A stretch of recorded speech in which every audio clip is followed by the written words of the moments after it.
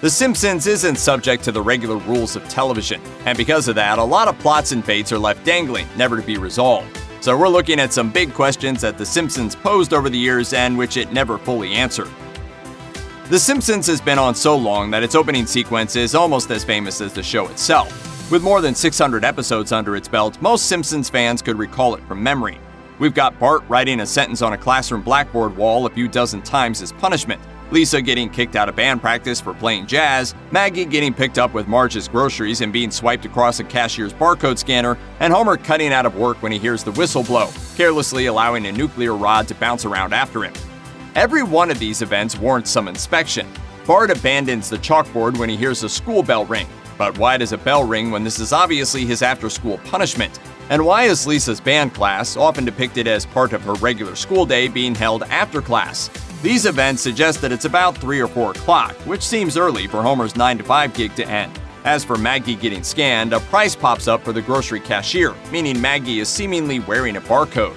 According to The Telegraph, Simpsons creator Matt Groening stated that the price that appears on the register is $847.63. It was the cost of raising a child in 1989 when the show first appeared on Fox. A running gag in The Simpsons wasn't only hilarious wordplay, but its characterization of Bart Simpson as a rude, cynical troublemaker. Bart would call Moe's Tavern and ask to speak with someone, and he'd always give a made up name that was either an insult or a pun. Moe would then call out to the assorted barflies. See more butts? Hey, everybody, I want to see more butts! Bart would then descend into a fit of giggles, and realizing he'd been pranked yet again, Moe would threaten acts of violence against the caller should he ever discover their identity. But Moe should have figured out over a dozen times that his frequent prank caller is the eldest Simpson child. Homer is one of Moe's best customers, and Moe is a family friend, but it's good that we, the audience, get to enjoy his ongoing confusion. C. Montgomery Burns is the town villain who owns the Springfield nuclear power plant. He once blocked the sun, he's stolen puppies, and he's incredibly old.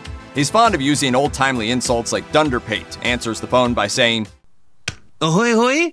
and tries to stack his company's softball team with dead professional baseball players. Burns' age is clearly just a vehicle for jokes and hilariously archaic words, but it doesn't make his age clear. His birth year has been given both as 1881 and 1890, making him at least 100 in the Simpsons universe. But in the season 4 episode Last Exit to Springfield, there's a flashback to Burns as a boy in 1909 visiting an atom smashing mill as a school age boy, placing his birth around 1900.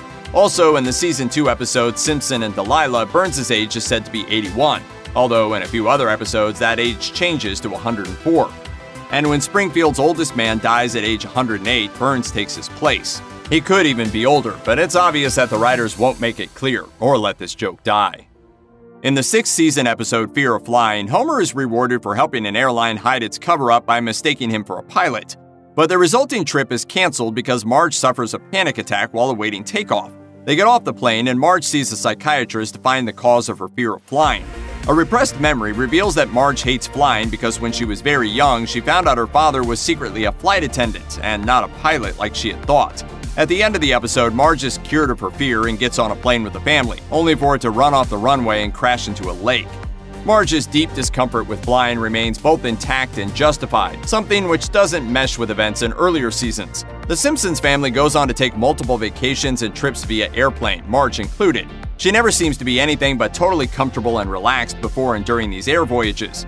According to the Simpsons wiki, it's theorized that the episodes are out of order, which could explain Marge's inconsistent comfort with flying. A permanent fixture at Moe's Tavern is Barney Gumble. He's seemingly always inebriated or in the process of becoming inebriated. Barney's obvious alcoholism is a dark but frequent source of comedy. He once won the Springfield Film Festival with his beautiful and haunting movie about his battle with a bottle, and viewers learned that he had a promising future until Homer gave him his first beer the night before the SATs, setting Barney on a drunken path. Lachrymose is to dyspeptic as ebullient is to effervescent. All right, Harvard, here I come. In the season 11 episode Days of Wine and D'oh'ses, Barney swears off beer, joins Alcoholics Anonymous, and adjusts to a life in recovery. But his addictive tendencies still run deep, and he still hangs out at the bar because Moe buys an espresso machine, whereafter Barney eliminates his dependency on alcohol by getting hooked on caffeine. A well groomed Barney is shown drinking latte after latte until one day Barney is once more permanently a slob knocking back brewskis. So, what exactly led Barney to fall off the wagon and why? Unfortunately, we haven't gotten an answer yet. Throughout the series, Homer meets lots of new people and invents, makes, or schemes his way into just about everything. In the season 2 episode, Oh Brother, Where Art Thou? Homer's estranged half brother Herb is a successful car company owner who lets Homer design a car that's such a flop it destroys the company and leaves him destitute.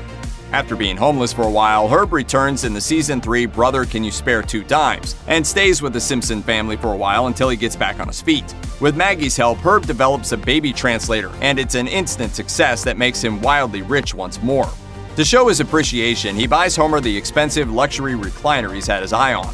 This episode hinges upon two very important objects a device that unlocks the language of infants and a huge piece of furniture. But the two objects are never addressed again on The Simpsons. A baby translator would change the world but is never mentioned again, and hundreds of scenes have transpired in The Simpsons TV room with Homer firmly planted on the couch and not his fancy chair. In the season 4 episode Marge vs. the Monorail, frivolously spending town money on a transit system seemed like such a futuristic and progressive idea. It even had a catchy song, introduced by monorail proprietor Lyle Lanley, convincing them to give Lanley the cash windfall collected from Mr. Burns for crimes against the environment. Of course, the monorail was a civic, financial, and political disaster, but no ramifications or fallout ever seemed to transpire. Not only is Main Street still all cracked and broken, as Marge pointed out in the monorail song, but the town was left in far worse shape when a makeshift anchor to stop the runaway monorail ripped through several streets and buildings. Did Springfield fix all those roads? And if so, how did the cash strapped town pay for it? Are the monorail towers, tracks, and trains still hanging around Springfield? There's also the whereabouts of Lyle Lanley to wonder about. Mr. Lanley! Aren't you gonna ride the monorail? Little lady, I'd love to, but I have to catch a plane. But the ride only takes a minute. Yeah, well, my plane leaves in less than one minute. He built the monorail on the cheap and escaped with the rest of the cash, only for his getaway plane to perform an emergency landing in another town he victimized, where an angry mob confronted him. It's possible those townfolk threw him in jail on charges of criminal negligence, but it still doesn't account for the instantaneous recovery of Springfield. The season 12 episode The Computer Wore Menace Shoes is undoubtedly one of the strangest of The Simpsons catalog. Homer starts a website and spreads rumors and conspiracy theories that he makes up until he accidentally gets one right. When he tells the public that flu shots are performed just before Christmas to incite the mass urge to shop, he's sent to a strange, spooky, and surreal island prison. Among the occupants are a man who invented a bottomless peanut bag, Homer's German speaking doppelganger, and a bunch of menacing bubbles. Homer manages to escape and return home, only to be greeted by Santa's little helper, who sprays gas on him and the rest of the family, who later wake up in a state of drugged out bliss on the island. Then the scene fades to black and the credits roll. The Penal Island is a lengthy tribute to the bizarre 1960s British TV series The Prisoner, but this episode isn't established like many Simpsons Treehouse of Horror segments. For all viewers know, the real Simpsons are still on that island. The Simpsons has been on the air for 30 years, and as time marches on, people pass away.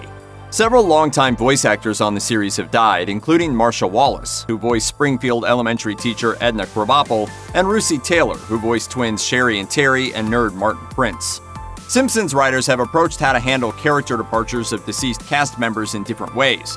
When Wallace died, Mrs. Krabappel died too, and her death was noticed and mourned, in particular by her husband Ned Flanders. When Taylor passed on, her child character survived, voiced by new cast member Grey DeLisle Griffin. Of course, the first big death on The Simpsons came when Phil Hartman passed away in 1998. Producers opted to instantly retire his recurring characters, washed up B movie actor Troy McClure and Simpson family attorney Lionel Hutz. Writers simply didn't include the characters anymore, and neither was ever mentioned again. While we know the tragic details of Hartman's passing, the fates of these characters have never been discussed. The season 7 episode, Much Ado About Nothing, takes on the issues of immigration, or rather, how politicians blame government shortfalls on illegal immigrants. In Springfield, this transpires when a bear patrol leads to a tiny tax increase, which upsets the citizens so much that Mayor Quimby blames the new tax on immigrants. Voters then decide on Proposition 24, which would immediately deport every illegal immigrant living in Springfield. In fear of the measure passing, Kwik-E-Mart owner and operator Apu frantically studies for the citizenship test. Bartender Moe is also shown taking the test, as is stereotypical Italian chef Luigi. Apu passes, and Moe and Luigi presumably do too, as both remain in town when Prop 24 passes in a landslide. However, the episode ends with a resentful groundskeeper Willie on a boat, dressed in the style of a 19th century European arriving at Ellis Island, sailing away from Springfield. Nevertheless, Willie is present in later episodes. It's unclear how he was able to return to town and his job so quickly and easily. It's not clear if he took a citizenship test or arranged for legal immigration, or if he somehow snuck back into Springfield from Scotland. The Simpsons has always been a satirical show, holding an animated mirror up to society to point out its ills and make fun of them. One target the show never tires of are big corporations that do bad things. Homer works for the Springfield Nuclear Power Plant, where skirting environmental law in the name of profits for owner Mr. Burns is the norm. As a result, Springfield is a massively polluted and politically corrupt wasteland, where the power plant dumps toxic waste wherever it wants, while the local government gives only the occasional small fine. One of the earliest episodes finds Burns' gubernatorial campaign sidelined by a three eyed fish caught in a waterway polluted with waste. Toxic pollution is just a part of life in Springfield, but is exposure to chemicals why all the residents have sickly yellow skin, bulging eyes, and four fingers on each hand? Is it why they don't seem to age in a normal way? There certainly have been even more ways that nuclear waste has profoundly altered the lives of the residents of Springfield, and we're just waiting for The Simpsons to answer those burning questions.